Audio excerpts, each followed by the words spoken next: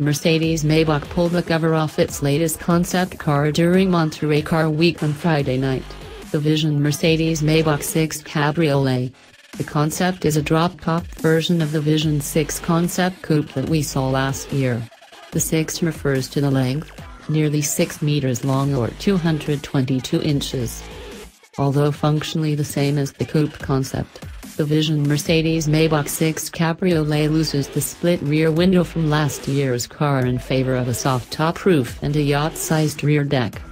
The interior looks largely the same as the coupes, a hint of art deco, a little mid-mod, and a lot of money.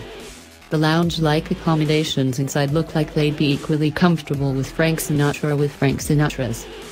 Interestingly, Mercedes is claiming specific details about the powertrain, including the battery electric system that powers the Vision 6.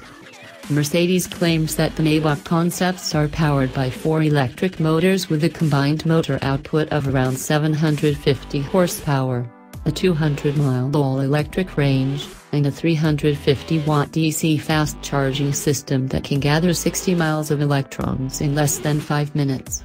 That kind of specificity is somewhat rare for the concept car world, many may as well run on weaponized unicorn gears.